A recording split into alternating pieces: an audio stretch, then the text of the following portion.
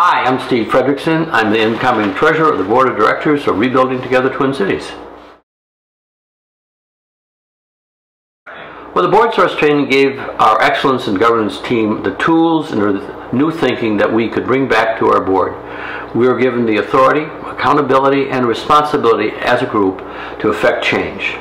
We offered new ideas, not dictating ways in which Rebuilding Together Twin Cities board could move to a higher plane.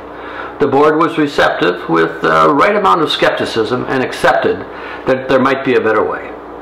We have improved upon our capacity to have dialogue at our board meetings. We believe that we have been given the ability to make some actual major changes in the meeting structure, board composition, and communication at the board level, due primarily to the excellent training that we received from BoardSource. First, it's practice, practice, practice. Then we need to continue to think strategically about how we can best deliver on our mission. The board needs to provide the vision and the strategic plan which allows staff to create and implement an action plan that they are excited about and that they will buy into. We need to continue to use the committee structures for detailed level discussions and direction setting in helping staff achieve the mission and direction. These changes must be ingrained to the, to the fabric of the organization and practiced at every turn in order to become our culture. These changes must be embraced by all stakeholders, board members, staff, consultants, and volunteers. And then finally, we have to have patience, patience, patience. Here's an example of how the board is finding new ways to raise funds to help impact more families.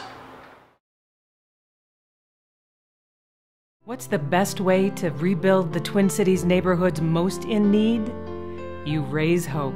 You show homeowners that someone cares by volunteering or donating to Rebuilding Together. We are a nonprofit organization that provides critical home repairs, helping low income families, seniors, and veterans stay safe, warm, and independent in their own homes. You can restore homes and pride in Twin Cities neighborhoods.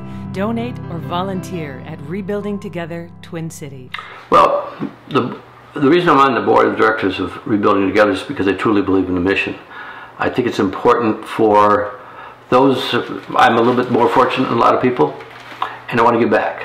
And there are many families um, who are significantly less worse off than I am, and I get an opportunity to help. And I like to be able to help maintain neighborhoods and strengthen them. That's real important to me.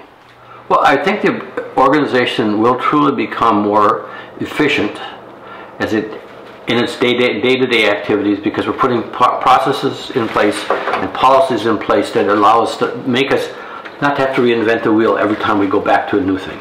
So we got have those things in for the staff and we also have those kinds of things for the board. So we're putting in place the stuff that allows us not to go back over and over the same thing and that, that just makes us more efficient and if we're more efficient we can be more effective. We can we can stretch the dollar. You know, we think right now we, we for every dollar we um, get, we're making it four dollars. Well, we can maybe for every dollar we can get, we make it four and a half. So those are the kinds of stretching things that we can be able to do. We become by being more efficient, which there creates the more effectiveness.